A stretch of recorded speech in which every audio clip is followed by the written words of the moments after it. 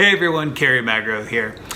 I want to talk a little bit today about how someone reached out to me on our Facebook page and asked why I don't advocate for a cure for autism on my Facebook page. And as we know today, there's no medical detection or cure for autism in our community. But taking that one step farther, one of the things I want to advocate for on this page is progress for all of our loved ones.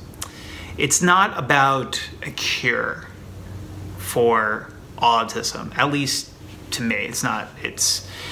I have always seen the most important thing we could do for our loved ones is provide them with reliable supports across the lifespan and to invest in ways we could help them progress to live the best quality of lives possible. That's the most important thing. I, I know that there are a lot of families who have a child who is on the severe end of the autism spectrum. I've been told from countless parents that I should be advocating for a cure on this page. And one of the things I, I, I truly want to advocate for is progress for everyone who is on the autism spectrum. That is one of my universal goals, which I hope a lot of us in our community can truly, truly connect with. If we take away the, the word cure and we switch it with progress and helping find ways of helping individuals reach developmental milestones and to reach and to get to the next level to succeed, that's something I think we can all get behind.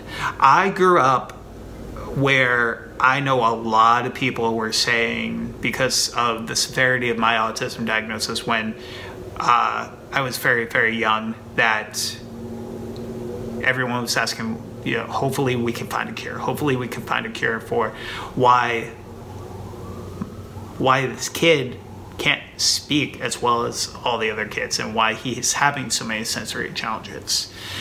I know this is a struggle. I do. I trust me. I, I know of it from my own experiences growing up to the experiences of so many people I meet within this autism community. But one of the things I, I just want to tell you is that I will always be here to be an open ear for anyone in the autism community who needs it. But at the same time, I hope as a community we can change the narrative from cure to progress.